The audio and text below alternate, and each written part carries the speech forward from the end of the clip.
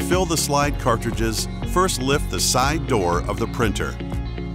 Remove the cartridges and add slides with the frosted area of the slide to the left side of the cartridge.